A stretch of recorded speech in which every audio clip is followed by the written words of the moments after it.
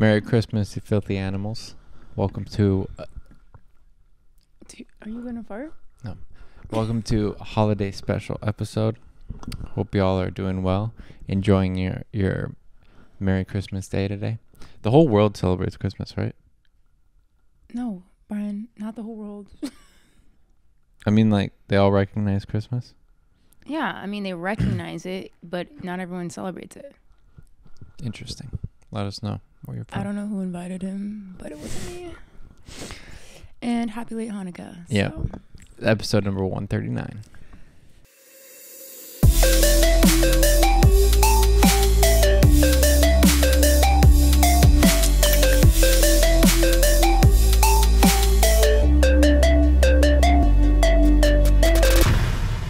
So, since as you can see, it's Christmas Day today.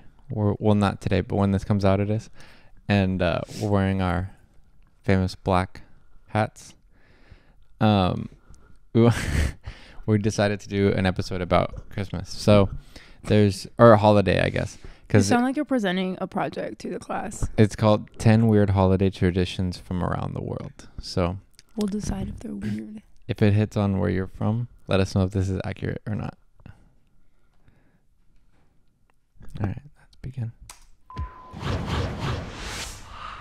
The Getting pre- ready for the holiday season is such a fun and festive time because everyone celebrates in their own unique way. While some people put up decorative Christmas trees covered in lights, others are carving radishes for their holiday tradition. If this sounds weird to you, it gets even wackier, so stay tuned. If this is your first time visiting our channel, don't forget to subscribe and please give this video a big thumbs up. Today we'll be showing you 10 weird holiday traditions from around the world. KFC. KFC is pretty delicious at any time of year, but the Japanese really enjoy eating What? meals from this fast food chain during the holiday season. Although the fried chicken establishment originated in the Western Hemisphere, people in Asia just can't get enough of it. But there are so many fast food franchises out there. What's so special about KFC to the Japanese? Well, this nationwide tradition started when KFC marketed its food as a traditional family meal for the holidays. Shut the Their fuck marketing up. gimmick No worked way. so Smart. well, and the Japanese thought a fried chicken dinner for their Oh my God, holiday was so an excellent idea. Since the 1970s, the lines at Japanese KFCs during the month of December have been ridiculous. Christmas may not be a national holiday in Japan, but some people treat it as a romantic holiday, similar to Valentine's Day. It's customary for everyone to enjoy a nice dinner at a fancy restaurant or a bucket of How bizarre and different. That is here. interesting. Yeah,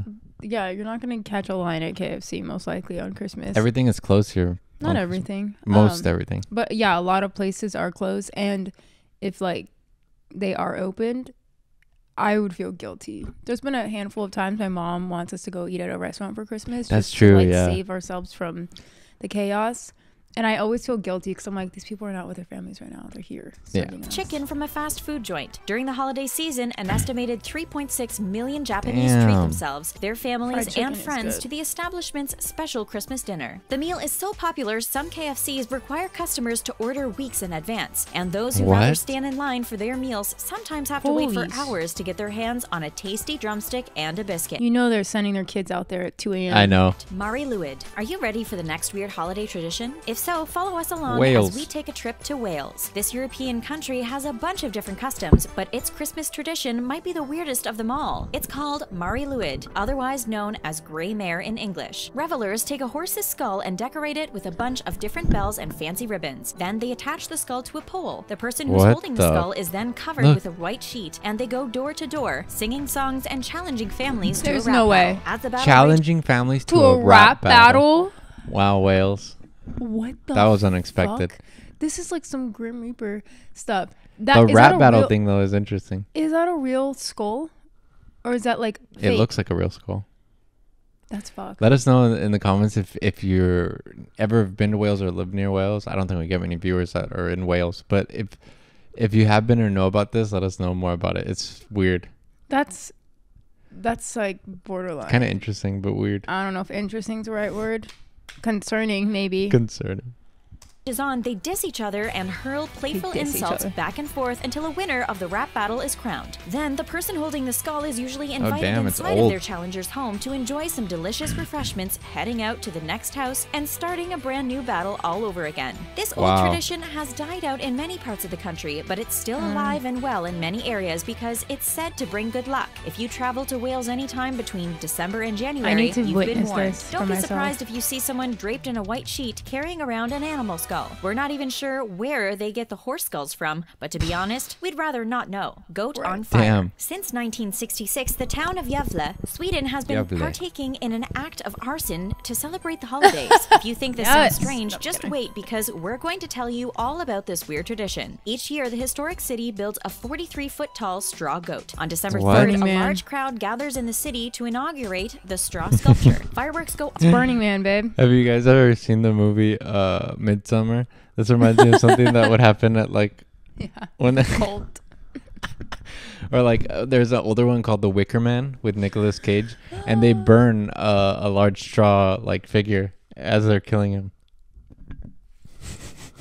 Off in the distance as everyone celebrates, and the goat stands proudly in the center of the town for everyone to gaze at its beauty. So, where does the fire come into play? Well, the tradition was never intended for the goat to be set on fire, but that's usually what happens year after year. Someone was just like, managed to someone was just like, let's burn this fucking thing, and they're just like, yeah, sure, It's tempting. I'm not gonna lie. Look at it. yeah. torch the goat 39 times throughout the years, but the people of this So city have finally decided to wisen up. They now set up security cameras and they have an around the clock live stream for people who keep an eye on the beloved goat. And if Hmm. anyone tries to torch it, they'll be in for the stiff punishment. In 2001, an American tourist reportedly spent two weeks behind Damn. bars and paid a $10,000 fine after setting the poor goat on fire. When asked why he did it, he said it was because he thought it was a part of the city's tradition. Oh, come on. Because the straw sculpture has gone up in flames so many times. Of course, it was an American who did that. I don't know. Sorry, yeah, guys. who were just like, yeah, fuck it, I'll do it. Like Iconic. I'm not gonna lie. Yeah. But uh, ten thousand dollars in fines. That's crazy. right.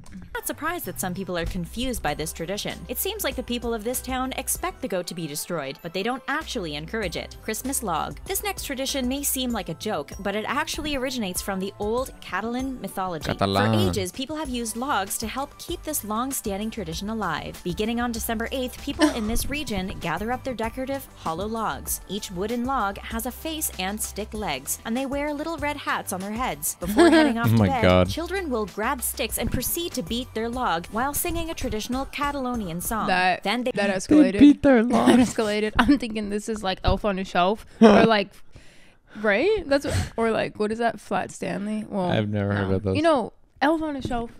You've What? heard of Elf on a Shelf? the fuck is that? The little mini elves that they people will like put in funny places in their homes or workplace and have them doing something silly. Mm-mm. You've seen Elf on a Shelf. It sounds funny. One time I worked a catering event years ago and the family, very wealthy, they hired someone to be an elf on a shelf. It was Like a small man. uncomfortable. He wasn't even that small. He he was scrawny, but he wasn't that short. And he would just like sit in the most random places for like a couple hours and then move elsewhere and just it was so it was just bizarre. Oh song. Oh my God. Then they play nice with the log by making sure it's nice and cozy. They will set it up in a prominent place in their beating home and before leave food out for it to eat. then they'll wrap the wooden figure in a nice little blanket to keep it warm throughout the night. It's almost This is similar so to random. Westerners leaving milk and cookies out for Santa Claus on Christmas Santa Eve. Except kids in Catalonia aren't waiting for Santa to climb down their chimneys and leave them presents. They believe the wooden log is the actual bearer of Oh gifts. God. As they head off to bed to get some Z's, their parents fill up the inside of the hollow logs with treats, candies, and other presents. When the kids wake That up, they so are greeted by the sight of their gifts cascading outside of the log, sort of like the log is going number two. This may sound pretty gross to you, but it's a really fun and festive holiday tradition in sounds this region of. Spain. Roller skate to mass. This next Christmas tradition sounds like so much fun. Right. Are you ready to find out what it is? If so, follow us along as we head off to the city of Caracas, Venezuela. On Christmas morning, residents of the city wake up to a dazzling display of Wow. colorful fireworks in the early Nice. morning. Then everyone everyone in the city puts on their roller skates to embark on a trip downtown to Yes. attend Christmas Mass. This tradition attracts so many roller skaters. The streets are closed off beginning at 8 a.m., and roads are blocked off so that everyone can make their roller Damn. skating commute without having to deal with traffic. For those who choose to stay home and watch the skating event from inside their house, there's still a way for them to get involved in this yearly tradition. Children have been known to tie one end of a string to their big toe and hang the string outside of their window. As the roller skaters pass by, they will gently pull on the string as they skate by. Once the roller Whoa, skaters whoa, reach whoa. the church, they roll down This just sounds like they're about to rip someone's toe off. No, no, no. The fuck? You're just gonna stand there and wait for people to tug at your toe? That's fucking bizarre. What if someone pulls extremely hard and they Right. rip your What if fucking- somebody they break your toe? What if somebody grabs it and then like falls and goes flying? Oh my god. The pews That before taking sounds off their skates and putting on their regular shoes. When mass is over, they put their skates back on and hit the town. As they make their I mean, way back sounds fun, home, they might even That stop sounds by a few roller skating, homes that have their doors open. Many people will offer the skaters hot chocolate or a coffee as a friendly gesture. This is where the disconnect happens. Okay, Americans would never. Yeah. Maybe a very small town. Well, that's like- what- in like uh, Indiana or something. I don't know in the Midwest, but That's mm-hmm. what I I think we we lack a little bit that a lot of other countries have is community. Yeah. this is someone who's from a city, so I also I'm sure. Have the experience of you know. well, yeah, that's true. In small towns, it's a little more, but no, I Would don't. your town do something like this? no, they still wouldn't feel safe. Come on over. Yeah, they wouldn't feel- they wouldn't feel as safe doing Get out of my house. Yeah. That's crazy. I respect it, but Yeah. it's crazy to me. Creepy spider webs. Westerners get ready for the holiday season by purchasing a real or a fake Christmas tree. Then the entire family gathers around to decorate the tree with That's shiny us. ornaments Yeah. and a string of bright and colorful lights. In Ukraine, a tree is also a common symbol of the holiday season, but they decorate theirs a bit differently. Before we tell you what they use on their trees, we'll first have to tell you where their yearly tradition originated from. An old Ukrainian legend stated that a poverty stricken family was feeling a bit down on Christmas Eve because they weren't able to decorate their tree in shiny lights and ornaments. As they went to bed that night, spiders that were roaming the house heard their sobs No. and cries and decided to decorate their tree for them. The spiders spun spider a bunch webs? of webs all over the tree, and on Christmas morning, the strands turned to gold and silver, changing the family's fortune forever. Because of this legend, That's people in. Ukraine now decorate their trees with spider webs. Too, well, fake ones, of course. This tradition is supposed Huh. to usher in good luck for the upcoming year, as many people still hope I mean, that that's maybe kind of their a spider sleigh, I'm not gonna will lie, that turn looks into cute. gold and silver, just like That's a the pretty old cool tradition. They U- look- Ukraine. Yeah, it's like uh, it reminds me of the Nightmare Before Christmas. Like it's blending Halloween. Yeah. And That's kind of cool. Wait, legend. Now, this is one weird tradition we wouldn't mind taking part in. Hide your Creepy brooms. spider. I hate spiders, Norwegians are really serious about their cleaning supplies, especially their brooms. The broom became a part of their Christmas tradition many years ago, according to legend. The story includes witches and evil spirits that would come out on Christmas Eve and steal everyone's Norwegians' brooms. The witches and spirits would then use the brooms to fly through the sky and wreak havoc on the towns. Whether this legend is true or not, can you it still freaks out the people of Norway to this day. So they've continued to participate in this yearly custom to safeguard their brooms from the creepy villains. Every year, they stash away their brooms and hide them on Christmas Eve, and some of the men of this country actually take things one step further. They'll actually step outside of their home and let off a blast from their firearm to show the spirits that they mean business. This may sound a little bit excessive, but it's always best to respect other people's traditions no matter how crazy they may sound to you. Now, we've seen some pretty weird holiday traditions so far, but nothing can prepare you for what's coming up next. It has to do with the oh, radishes we told you about at the beginning of this video. Are you ready to find out more? Okay, here we go. Night of the Radishes. Radishes aren't usually a veggie that get a lot of praise and attention, unless you just so happen to live in the Mexican city of Oaxaca. In 1897, the city's mayor created a tradition that required everyone to take part in a radish carving celebration. The event kicks off every right. December 23rd Why can't I talk? It required them to take part in this, or what? That's today. So right now, they're carving up radishes, slaving away, carving up radishes. The night of the radishes. Called the Night of the Radishes. Although the name suggests it only lasts for one night, it's actually a three day long event. Everyone gets involved in this holiday tradition, from young kids to talented artists. Everyone puts I mean, their creative abilities to the test by creating some pretty amazing radish sculptures. The event takes place in the town plaza where everyone puts their radishes on displays. After church services, people head out into the market area to view all the beautiful decorated veggies. They can even cute. purchase some of them if they like. The radishes used in this event are grown specifically for this tradition, so they're a lot larger and heavier than your Wow. typical radishes you'd find in the grocery store. They're not meant to be eaten. They're considered works of art. This festival is so popular, people line up for hours just to get a peek at the carved vegetables, from ones that are designed as nativity scenes to radishes that are shaped like snakes and alligators. The city also gives a grand prize of 12,000 pesos, or approximately 635 US dollars, to the best radish sculpture. Moldy seal. We hope you don't have a weak stomach because this next tradition will definitely make you a bit nauseous. It takes place in Greenland, and it's a traditional holiday feast that's planned months and sometimes years in advance. To prepare the meal, the people of this island sculpture a seal. The meat is removed from the inside, and just the thick layer of fat on the outside remains. Then they sew the skin together, sort of like a bag, to help keep it in place. Then they stuff the inside of the seal with 300 to 500 little birds called auks. For the last step, they get a What the fuck Why? is Why? You're gutting the seal and doing what with the insides? Shit, this is a weird one. a bunch of seal fat and smear it all over the outside of the animal to help keep flies and other rodents away from it. Next, they take the bird stuffed seal and leave it underneath a pile of rocks. They allow the flesh to rot, decompose, and ferment from anywhere between 3 to 18 months. As soon as winter arrives, it's time for them to enjoy this holiday No meal. way. So like each year you're eating a seal that was probably rotting from last year. Yeah.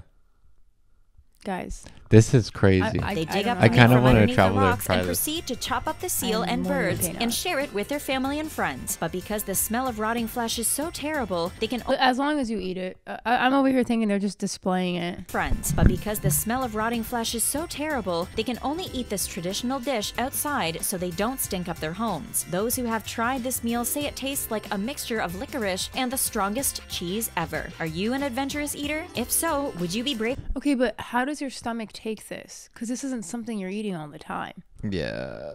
So- yeah. I feel like you would get sick. Anyone from Greenland who's participated, Greenland is such a like random place. Like I don't really hear anything about it. I need to know from someone who has tasted this. How was it? And what is the what is the like History of this? not even just history. Well, yeah, that. What is the appeal of something that smells so bad you have to eat it outside? Like, why? Why are you doing this to yourself? Yeah. Enough to take a bite out of Greenland's moldy seal, Krampus. Now it's Oh, time to tell you about the weirdest holiday tradition of them all. It takes part in Austria and other parts of Europe, and it's called Krampus Night. In case you're unaware, Krampus is the anti-Santa. He actually looks more like a wicked monster or an evil beast. On December 5th, which is the eve of St. Nicholas Day, people get dressed up in their most horrifying Krampus outfits. While Santa Claus rewards all the good kids with presents and treats, Krampus is unleashed to punish all the bad kids. Goddamn. People dressed in their Krampus outfits roam the streets to scare young children. And we're sure I mean, that's kids fucking get hilarious. That's totally freaked out awesome. Whenever Krampus night rolls around, many of the costumes have horns, fangs, and everything else nightmares are made of. While the Krampus beasts are chugging alcohol and wandering down the streets, kids leave boots outside their front doors. In the morning, Krampus will either leave a present in their boot if they've been good, or a rod if they've been a bad boy or girl. Damn. That actually sounds traumatizing. Imagine getting a rod in your fucking shoe outside. That's so You're weird. like, what did I do? I I, would be spiraling. I'd be like, they're what did I do wrong? me. Yeah, he's gonna come and kill me. Yeah, that That's Krampus one is interesting. I mean, yeah, we've seen. Isn't there like that scary movie about Krampus? I've never seen it, but yeah, there is. I feel like we did a long time ago when it came out. I don't remember. That's that's nucking futs. That I don't know if I'd be able to To, survive. to me, the weirdest one was the the moldy seal. That was really weird, and kind of like disgusting. But Sorry. Yeah, I agree. Very interesting. Let us know why. Please, I need to know why. I want to know why too. Ew. But if any of you are familiar with these, leave a comment below and let us know like if they were accurate or if like And you if know. your country does anything bizarre, let us know that wasn't in this video. Yeah, that's true. Because I'm sure there's a lot that weren't covered. Because a lot of these were, they were just like interesting. They weren't anything like crazy, except for that seal man. That seal is really random. they didn't like go into any of the backstory of why. Yeah. Anyway, But yeah, hope you enjoyed that video, guys. Um, happy holidays. yes, and have a happy New Year. Well, probably I, th- I don't know if this, we're gonna have a video that lands on New Year's, but Well, Christmas and New Year's are exactly a week apart, so most likely we will. but yeah, hope you guys enjoyed it. Have a good rest of your Merry Christmas Day, and thank you for watching. If you are, make sure to jump over to our vlog channel. We'll see you next time. Bye. Peace.